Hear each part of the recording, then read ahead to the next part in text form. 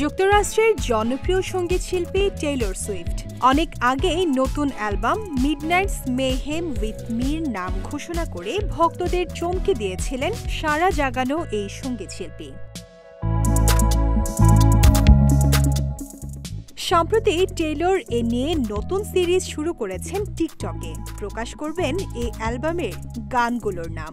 সে ধারাবাহিকতায় একুশ সেপ্টেম্বর জানিয়ে দিলেন, অ্যালবামের তেরোতম গানের নাম হবে মাস্টার মাইন্ড নতুন অ্যালবামটি আগামী একুশ অক্টোবর থেকে পাওয়া যাবে সর্বত্র।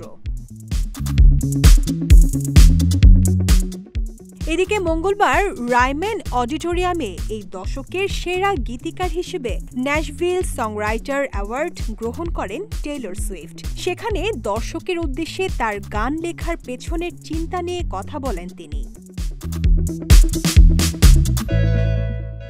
টেইলর জানান, তিনি নিজের মতো করে কলমের ধরন অনুযায়ী তিন ধরনের লিরিক সাজিয়ে নেন।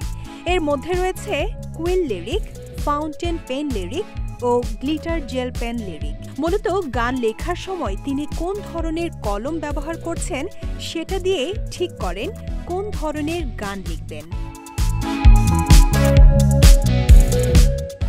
চলতি বছরে এমটিভি ভিডিও মিউজিক অ্যাওয়ার্ড দুই হাজার বাইশের শীর্ষ পুরস্কার জিতে নিয়েছেন যুক্তরাষ্ট্রের পপ গায়িকা টেইলর সুইফট। দুই হাজার ছয় সালে প্রথম গান টিম ম্যাগ্রো প্রকাশ করেন টেইলর সুইফট। এরপর প্রকাশ হয় তার প্রথম একক অ্যালবাম টেইলর সুইফট।